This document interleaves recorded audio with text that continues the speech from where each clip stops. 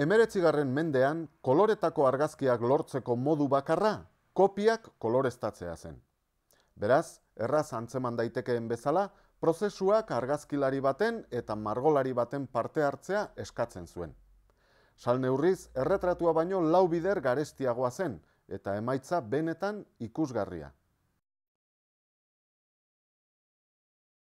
Koloretako lehen argazkiak mila sortzieun eta irurogeita bederatzean lortu ziren.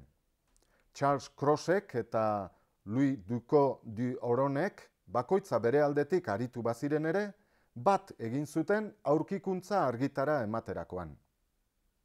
Gutxi gora behera, onela egin zituzten lehen argazki haiek.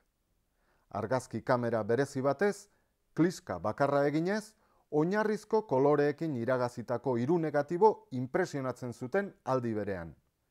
Gero, laborategian hiru negatiboak errebelatzen zituzten. Negatibo bakoitzari zegokion koloratzailea ezarri ondoren, hirurak nahasten zituzten positiboa lortzeko. Koloreak nahastearen ondorioz lortzen zen behin betiko argazkia.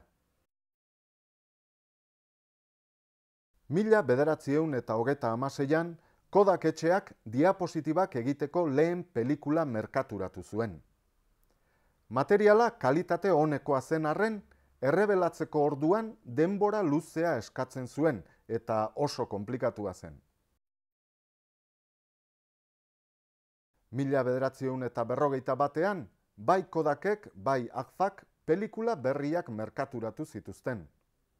Pelikula hauen ezaugarriak hauesek dira sentikortasun handiagoa, bikor txikiagoa eta errebelatzeko erraza.